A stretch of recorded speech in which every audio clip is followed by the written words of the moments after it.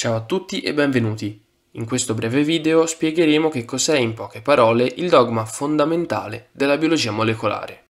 Il dogma fondamentale o centrale della biologia molecolare è un principio formulato nel 1958 da Francis Crick, secondo cui il flusso dell'informazione genetica è strettamente monodirezionale. Si parte quindi dal DNA, che coinvolge l'RNA e quindi arriva alle proteine, senza la possibilità di poter invertire in alcun modo il percorso.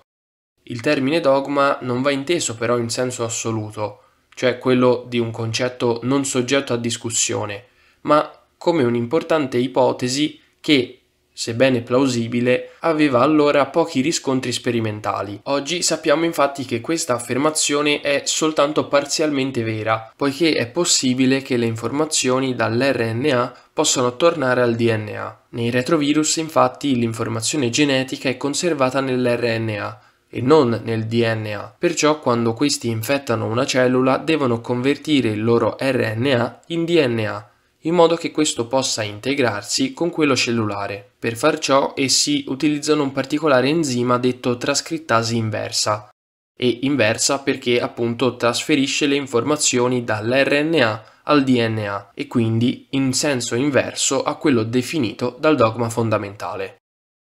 Inoltre, recentemente sono stati scoperti i retrotrasposoni che si replicano attraverso una retrotrascrizione dell'RNA che è trascritto dalla propria sequenza, mentre invece non esiste ancora nessuna osservazione che faccia presumere il passaggio da proteine a RNA. Ciò significa che in una cellula e più in generale in un essere vivente è possibile introdurre nuove informazioni soltanto attraverso il DNA o l'RNA, ma non attraverso le proteine. L'introduzione del dogma fondamentale cambia leggermente il concetto di un gene e una proteina che abbiamo visto in un video precedente e lo trasforma quindi in un gene, un RNA. Poiché nella cellula esistono diversi tipi di RNA, il prodotto finale di un gene può quindi avere diversi aspetti. Se l'RNA è strutturale o non codificante, l'attività del gene si può identificare con esso, mentre invece se è messaggero è necessario considerare la proteina che ne deriva e quindi se è una proteina strutturale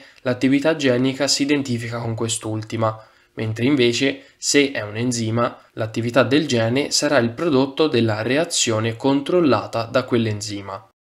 Detto questo abbiamo concluso questo breve video riguardo il dogma fondamentale della biologia molecolare. Per il momento è quindi tutto.